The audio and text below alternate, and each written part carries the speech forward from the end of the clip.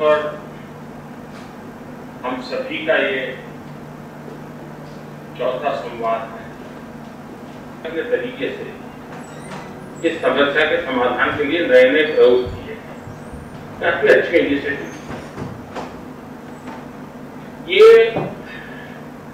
शायद मानो कि आपके इतिहास में इतना बड़ा संकट पहली बार है।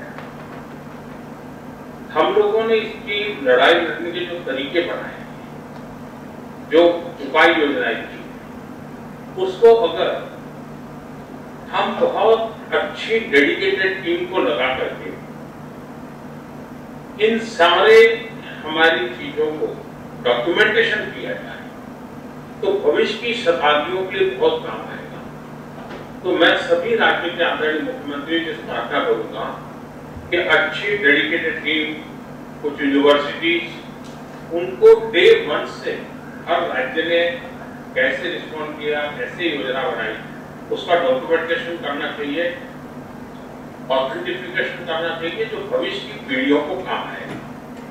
दूसरा, मेरा आपसे आग्रह है कि जिस कानून के तहत हम ये लॉकडाउन और सारी प्रोसेस कर रहे हैं, मैं चाहूँगा कि आपके यहाँ टास्क फोर्स बना करके उस कानून की बारीकी से अध्ययन करें उसमें rapid response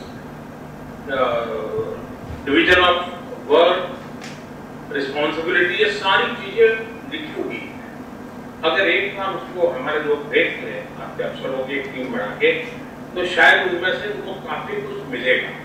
वैसे वो नेचुरल कैलेमिटीज के अलग ग्रुपों के लिए बना हुआ है, इस प्रकार की कैलेमिटी नहीं थी। लेकिन उसमें पूरे गवर्नेंस को इस क्राइसिस पर कैसे ऑपरेट करना चाहिए, इसका अच्छा खाका है।